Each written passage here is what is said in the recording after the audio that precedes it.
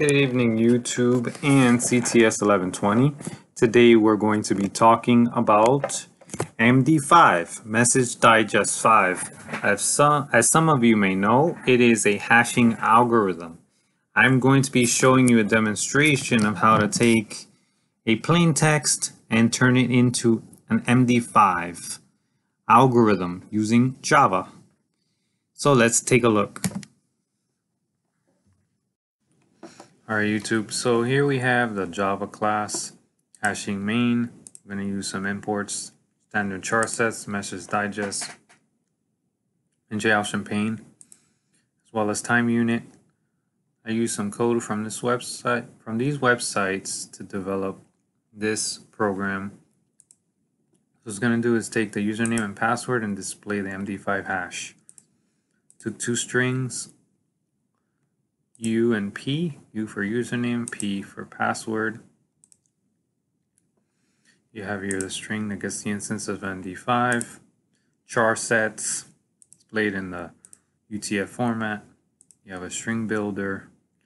You have hash and bytes. You append it to this format of string.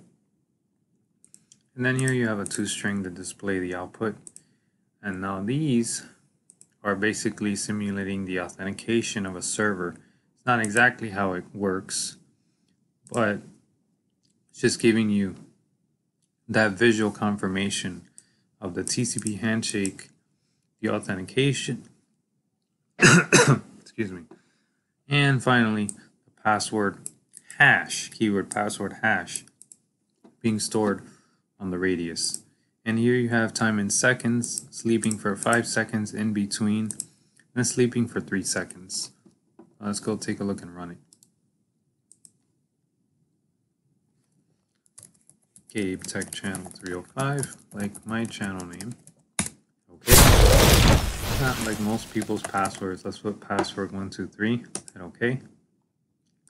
And there you have the hash of password 123. First step, TCP handshake successful. Gabe Tech Channel 305 successfully authenticated to Radius an MD5 password hash stored on Radius.